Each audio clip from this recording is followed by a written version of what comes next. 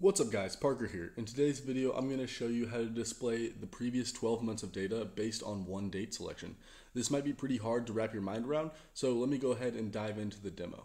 So recently I had a client ask me that if they selected uh, one date, they want to show the previous 12 months of data, uh, which is kind of counterintuitive because uh, by default Power BI is going to allow you to select a date and it's going to filter down uh, the graph just to show one date. So in this case, it'd be one column and one point on the line.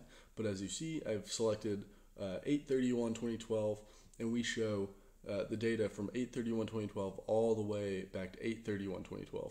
So if we select another date, we'll see that dynamically changes to show our selected date to the previous 12 months of data. Um, and if we don't select a date, it's just going to select our most recent month, which is January 31st, 2014, back to January 31st, 2013. So there's a kind of cool trick that you can do uh, just by creating a measure with a disconnected table. Um, so let's go ahead and dive into how you would do this. Uh, so I have another file here with the same tables loaded in. I'm using AdventureWorks DW 2014. So let's go ahead and bring in a combo chart here. And this fact internet sales table has a field called end of month date. So it's basically just the date rounded to the end of the month. And we'll bring in sales amount as well. We'll put that in the columns or column values. And then we're going to have a nice column chart. And just to show you the default functionality, here is a slicer and I'll throw in end of month date as well and we'll change that to a list. So by default, you select one date, it's gonna just filter down to one date, or if you select multiple, it's gonna just show you the two that you've selected. Um, but we want to disconnect our date table to this graph to be able to show the previous 12. So we don't actually want to use a slicer with a date from the same table. In fact, we want to create a new table by going to modeling, new table,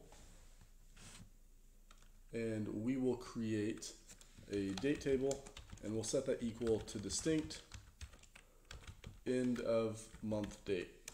So basically I'm just going to get the distinct values from our end of month date. Um, you can use any date column you want. So now that I have a new table, let's go ahead and check out the relationships view. And we want to make sure that this date table is not connected to the fact internet sales table and we can see it's kind of floating over here randomly by itself. Let's zoom back in and we see there's no relationship set up between the date table and the fact internet sales table. So as we go back um, to our visualizations, we can bring in a slicer from the fat, uh, from the date table now. We'll bring that in, change that to a list, and we'll see that this doesn't affect our visualization in any way, which is good. Um, one quick thing, I'm going to go ahead and make this a date so it looks a little nicer and change the format of that. Um, let me go ahead and bring that back in. So slicer, end of month. Okay, there we go. That looks a little bit better. Then we can see that clicking on a selection in this end of month date does not affect the visualization. So what we need to do is we need to create a new measure and we're going to call this TTM sales. So all of the magic here is going to happen in a measure. And the idea is basically if um, we're going to calculate the total sales for the previous 12 month period and anything outside of that 12 month period is going to be blank. So since it'll be blank, it's just going to filter the visuals uh, the visualization down to show you where values are not blank. That might make a little bit more sense in just a second. So let's go ahead and create a couple of variables to grab our current values. So if we do a variable current date, we're going to set this equal to max of the end of month date from the date table. So it's basically going to harness um, this selection from our date end of month date. And then we want to create a variable for the previous date. This is, my bad, this is basically going to select the value 12 months before. So previous date. We're going to do a little bit of date math here. We're going to set that equal to the date function using the year of our current date, the month of our current date, but we're going to subtract 12 months from that, and the day from current date as well. So if you just want to see what um, that evaluates to, let's go ahead and return previous date just as a little test. And we'll go ahead and throw this in a card. And we see that the previous date is 831-2010 when 831-2012 is selected. So that's perfect actually. So let's go ahead back to uh, our measure definition and just a couple more things here. We're actually going to create a new variable which we'll call result and we'll set that equal to a calculate statement. So we're going to calculate the sum of the sales amount. So sales amount is what we're going after here. That's our main, um, that is our main value. And we need to filter the fact internet sales table. But we need to specifically filter this fact internet sales table to only show us values between our previous date and current date. So we do that by saying at end of month date is greater than or equal to previous date and end uh, end of month date is less than or equal to current date. Close off filter, close off calculate, and we will return our result. You don't need to store this in a result variable, but I just decided to. So if we go ahead and click OK, that is our entire measure. So we can go ahead and delete sales amount now, and instead we will throw in TTM sales. And we see we only have so many bars here.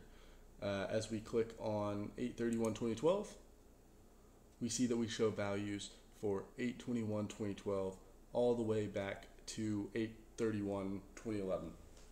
And just to reiterate, the reason this is working right now is because this date selection has nothing to do with the date axis uh, shown in the visual. We can see that in the visual, it's pulling the end of month date from Fact Internet sales, but the slicer is pulling the end of month date from the date table. And since there's no relationship, we can specify when we select something from the date table, how we want to use that in a calculation based on a measure. So this measure is getting our date selection from the date table. It's subtracting 12 months from that date to give us the range we want to show values for. And then it's explicitly saying only give me values if our fact internet sales end of month date is within that period that we just defined. So that's how you set this up. Um, let's go ahead and go through um, that one more time just to show the tax as well. We'll actually just copy this. And we'll do the same thing for tax.